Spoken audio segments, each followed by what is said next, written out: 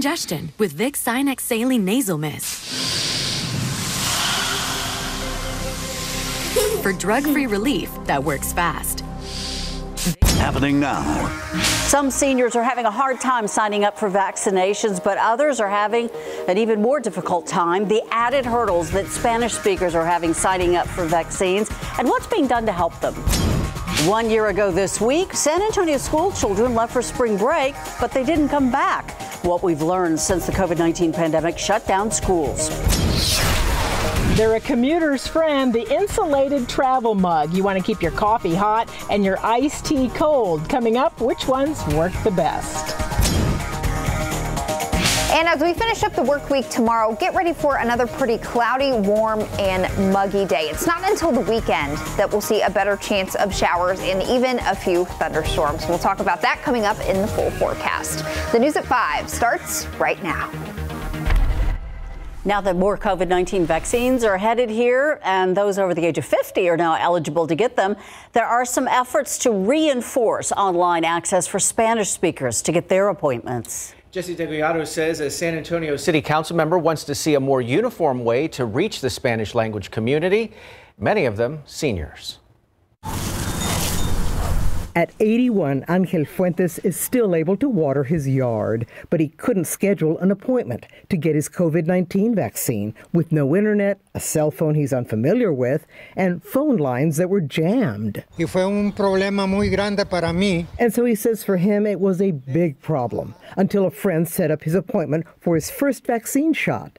Like him, other seniors, including many of Adriana Rocha Garcia's constituents, are still having a hard time. I think everybody needs to do better. I think that the the, the problem is that uh, everybody's doing their own thing. She says, take CentroMed, for example. Hablamos Español is at the top of its website with a phone number with bilingual operators like WellMed and 311.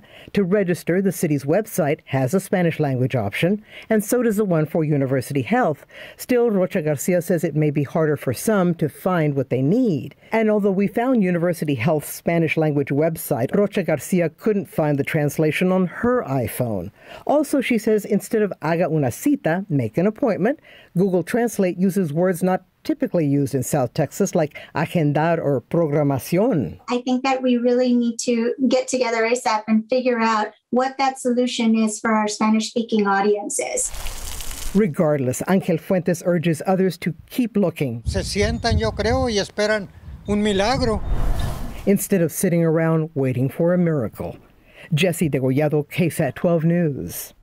Councilwoman Rocha Garcia says she'll bring it up at next week's uh, city uh, next week when the city's Community Health and Equity Committee meets with vaccine providers. Both University Health and Metro Health tell us that they now have improvements to their Spanish language websites now in the works. CVS announcing that they will be opening more vaccination sites in Texas.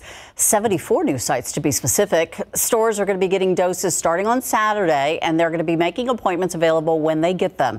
However, CVS has not announced which of the locations will be getting the vaccine.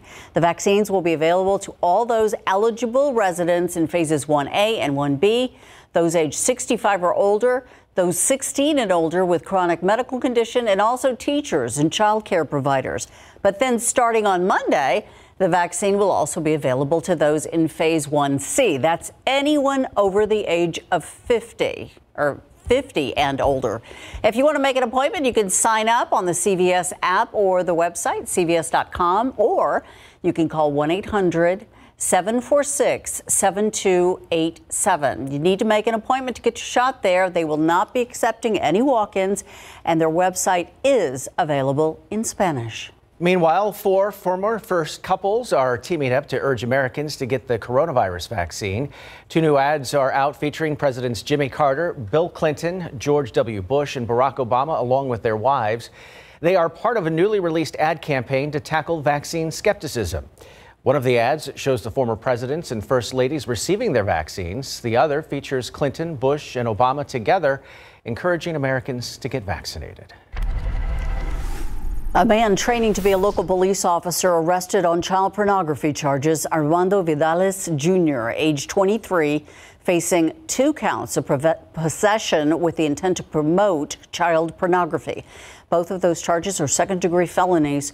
Atascosa County Sheriff David Soward uh, confirming that Vidales was training at the time to be a police officer at the San Antonio Law Enforcement Academy.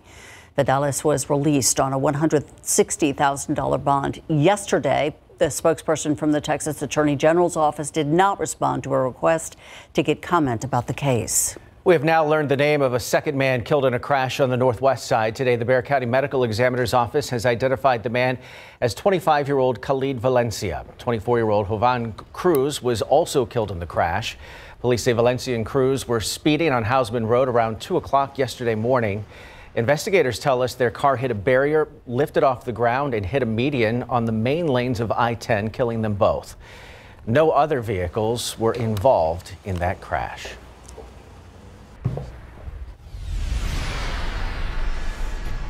It has been exactly one year now since COVID 19 was declared a pandemic, disrupting all of our lives. Work, school, and just about every other aspect of our lives began to happen at home. All major events canceled. The U.S. economy came to a screeching halt as unemployment rates hit an all time high, with millions of Americans losing their jobs due to statewide lockdowns. In the last year, there have now been 29.3 million cases of COVID 19 here in the United States with uh, millions of them here in Texas, and 530,000 Americans have now died. With vaccine distribution underway, many people and businesses continuing to recover from the lasting impacts of the coronavirus, we asked some residents today how they're feeling on this grim anniversary. Well, it's certainly a sad anniversary to say the least. And it's amazing how much, how quickly the time has gone, though, despite the, the pain and agony that so many people have experienced in this past year. It, we have seen cases get lower here in Bexar County. And with more people getting vaccinated throughout the state and across the country, we can finally see a light at the end of the tunnel after this very long year.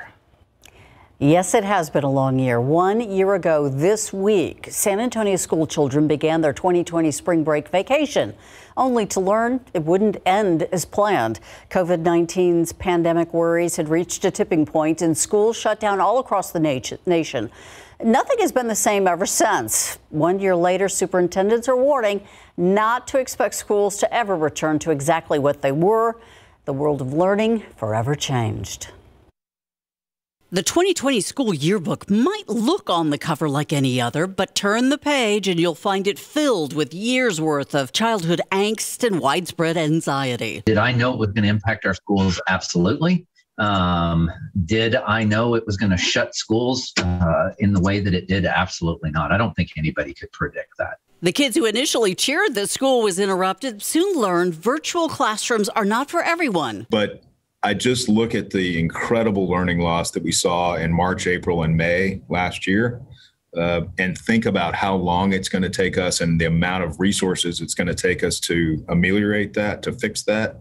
Um, and it, it's it's my in my mind something I wish we had not done. Superintendents in San Antonio voiced similar sentiments. If they knew then what they know now, 2020's classrooms would not have shut down. Parents were left at home watching grades go down and depression go sky high. We have advisory groups made up of parents and they share with us how their children are depressed, they're feeling isolated. Going forward, there are issues that are still not resolved. $6 billion of special COVID relief funding has not been dispersed by the state to the schools, and there's widespread STAAR test confusion with different rules and accountability for grades 3 through 8, virtual students, and class taught kids. The good news is that school testing and vaccinations are rising daily as community COVID cases decline. The superintendents want the kids back in class. It's just ironic that people are willing to open up restaurants and bars and other other businesses which are very important in our community.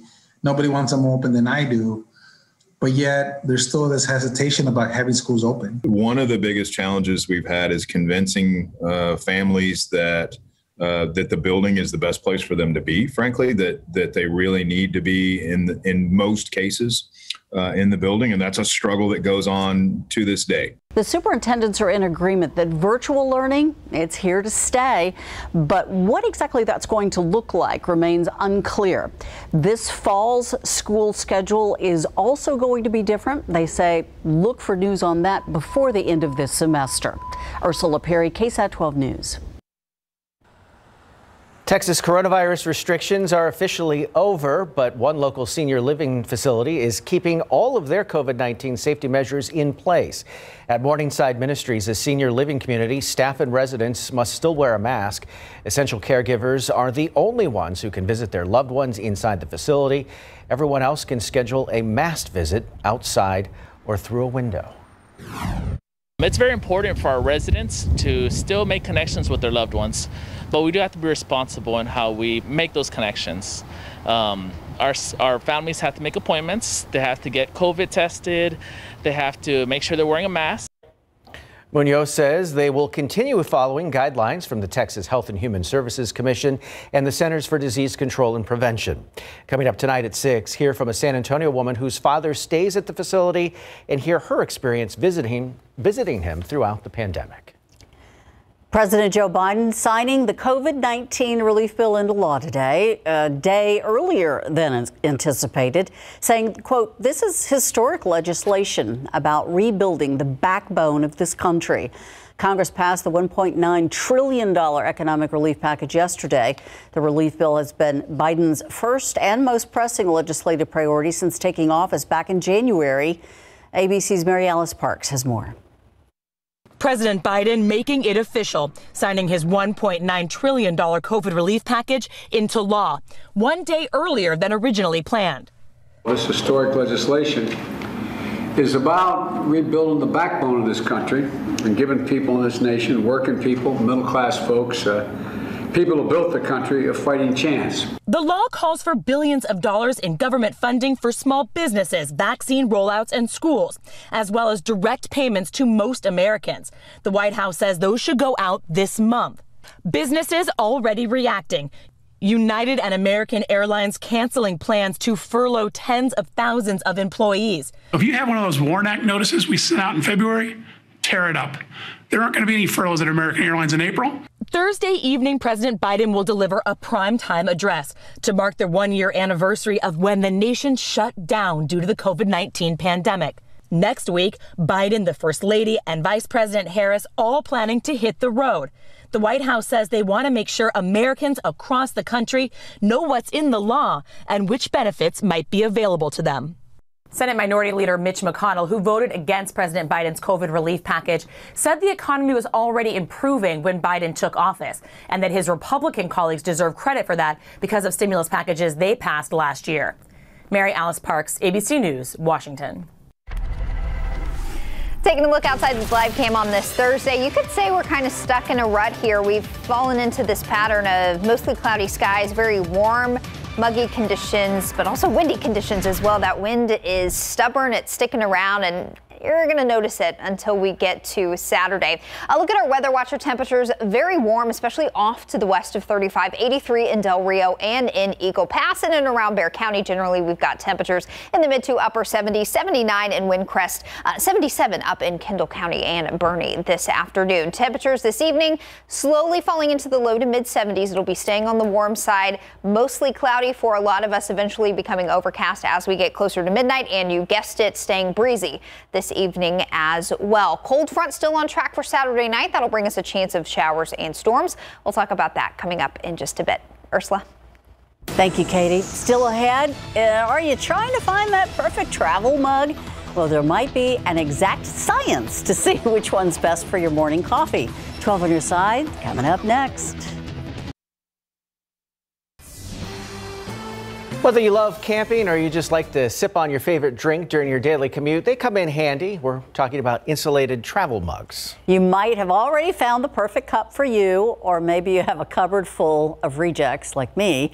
Consumer Reports found there is a science to knowing which travel mug is best. 12 inch size Marilyn Moore shows us which ones will keep your coffee hot the longest.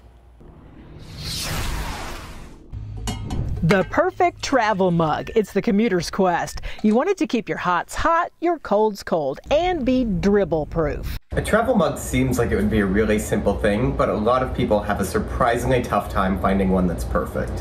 So, Consumer Reports tested insulated mugs from several brands, including Yeti, Thermos, Contigo, and Starbucks. First, they checked temperature retention, filling each with boiling water and opening them at intervals to take the temperature until it reached 140 degrees. They did the same for cold beverages, too. They also checked to see how easy they are to clean, whether you can open with one hand while driving, and whether they fit in a variety of cup holders.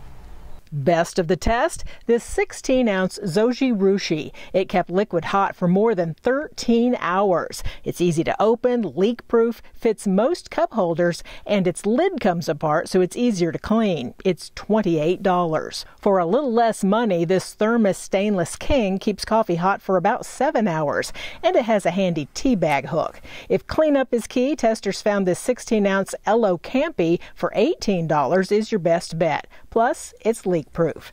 Marilyn Moritz, KSAT 12 News. So many of those at our house. Yes. Mm-hmm. All right. But now we know which one we got to go out. and Okay, so do we need something to keep our coffee warm in the morning, or do we need something cool to drink in the morning? Uh, Cool, definitely. I mean, these past couple of mornings, our temperatures have been well above average for this time of year. Feeling very spring like, right?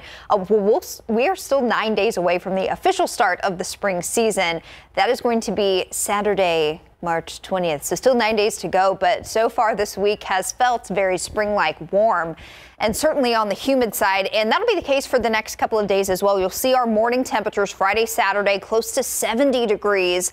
It's not until Sunday morning, Monday morning that we'll get those temperatures back down closer to average for this time of year. And It'll be a little on the cool side Sunday morning, 53, and then even a touch chilly on Monday morning, 47. And that's because we've got a front coming through Saturday night. That's going to kind of split our weekend in two. I think your better day, especially if you want to spend time outdoors this weekend, is going to be Sunday. We'll talk about why. Still a decent amount of cloud cover out there, with the exception of some of our southwesternmost communities, and that's where temperatures have been allowed again this afternoon to jump into the low 90s, upper 80s. It's 89 in Cotulla, 88 in Carrizo Springs. Meanwhile, farther off to the north, a touch cooler, 77 in San Antonio, uh, 76 in Kerrville with some additional clouds. That wind is still breezy today off the Gulf of Mexico at about 10 to 20 miles per hour. And once again today, we've seen some gusty winds in places. They're starting to relax just a bit, but earlier this afternoon, we did have some gusts up closer to 25, 30 miles per hour, even a couple notches above 30 miles per hour at times. So wind gusts the next couple of days will continue to be elevated, not all day long, but especially late morning into early afternoon. We could see some wind gusts up near 30, 35 miles per hour both Friday and then into Saturday. It will still be a touch breezy on Sunday, but not nearly as gusty, and overall winds will start to relax once we get into the second half of the weekend and then early next week. So I know that wind has kind of been a little bit of a nuisance for you, whether you're hair stuff or trying to do yard work, it has been a little bit of a nuisance. Really, what we're waiting on here is a storm system that's still off closer to the west coast. This is really taking its time, uh, moving in from the west coast and moving off to the east. Um, and that was actually a really cool water vapor picture here. You can see it swirling uh, counterclockwise, and this is going to make some eastward progress over the next couple of days. Essentially, our weather is going to stay fairly stagnant Friday into most of Saturday. It is Saturday, late Saturday evening, really Saturday night, that that storm system will drag a front across Texas. This will result in some scattered showers and thunderstorms, primarily for San Antonio after midnight into the early morning hours of Sunday morning. But look, by 10 a.m., this is off to the east, and we'll get a good amount of sunshine going by Sunday afternoon. So this will be an overnight chance of some showers and storms for us on Saturday. We're not overly concerned about any severe weather. There certainly could be some rumbles of thunder. And I think the most annoying thing about this whole situation, which we do need the rain, don't get me wrong, is that thunderstorms maybe could wake you up. And this is also when we lose an hour of sleep because we spring forward. So don't love that combination because you may get woken up a little bit earlier than you want to Saturday night, but hopefully we'll get a good quick hitting dash of some rain and then clear out beautifully by Sunday afternoon. Sunday afternoon really, really looks very nice. So until we get there, staying humid again tomorrow morning. We'll start off near 70 degrees, breezy south southeast winds 10 to 15 miles per hour.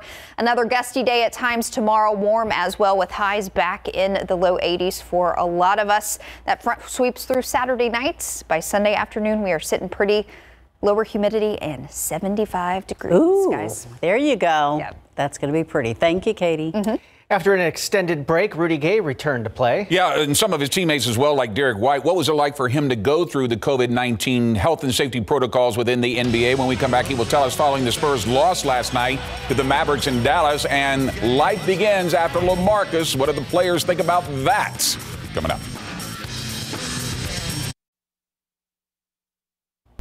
Our San Antonio Spurs did not start out the second half of their season the way they wanted to by losing to the Mavs in Dallas last night, despite the fact that they got off to a great start. Lonnie Walker, the fourth, hit back-to-back threes to put the Spurs up 21-18. Then Rudy Gay, playing in his first game in almost three weeks after testing positive for the coronavirus back on Valentine's Day, hits a three of his own, and the Spurs are up 32-27 after one. DeMar DeRozan is able to spin and hit the baseline jumper, and the Spurs are out in front just like that at the half, 59-52. Now let's take you to the third quarter. Check out this move by Lonnie Walker IV. Euro stepping through two defenders, gets it to fall, plus the foul. Spurs lead 84-83. That's when the tag team of Luka Doncic and Kristaps Porzingis respond. Doncic with the dunk. The Mavs are up 87-86 going into the fourth quarter. Then Luka, magic continues. He finds Kristaps Porzingis for the alley-oop slam. The pair combine for 50 points. Doncic with a triple-double, 22 points, 12 assists and 12 rebounds. The Spurs keep looking for an answer, but they miss 10 straight shots over a five-minute span and fall 115 to 104 for Rudy Gay. He was just happy to be playing basketball again after going through COVID 19. You know, you can say what you want about it until you actually get it. And, um, you know, obviously myself being a, you know, in shape individual and, and, being able to, you know, work out and do things, you know, easily, um, it was hard for me. It was tough. It wasn't easy. I had more respect for it. And, um, I think everybody in the world should. I know a lot of people just, you know, think that it can't happen to them or have had it or, or and, and think it's over. It's never, and you know, it's not over. You gotta, you gotta respect it. But, you know, it's been tough. Been times when it's tough, and times when, uh, you know, when you had to get yourself back in shape, and that's really tough. Obviously, going through it is is is tough also. So, you know, it's been a process. All right, before tip off of last night's first game back from the All Star break and first game of the second season, Spurs head coach Gregg Popovich dropped the bombshell that the Spurs and LaMarcus Aldridge have decided to part ways, thus ending a six year run for the seven time All Star. He'd been relegated to the bench, returning from a sore right hip. After the game, we got a chance to get reaction from his teammates who began life without LaMarcus. I think he might be the longest uh, teammate that, that I've had um, in, in my career throughout the NBA in Portland and, and in San Antonio. So um, you know, he, he's obviously well respected um, with this group in particularly, um, and, and, every team that he, he's played for. So, you know, you, you, as a teammate, you just wish um, the, the, best for him and hope that the next um, chapter of his journey, you know, works out for, for him. All right, next up, Orlando with fans. We wait to see whether they buy out LaMarcus's contract or they find somebody who will trade for him. It'll be fun to see fans in the stands. It will be. Thank you, Greg. We'll be right back. Before we go, we have a programming note. Of course, President Joe Biden is going to be addressing the nation, his first address, uh, at 7 o'clock tonight, and that is going to start pushing programming back. Yes, all of it will air in its entirety, and when all those programs are done, the Night Beat will air just a little bit later tonight. Thanks so much for watching the news at 5. World News is next. We'll see you back here at 6.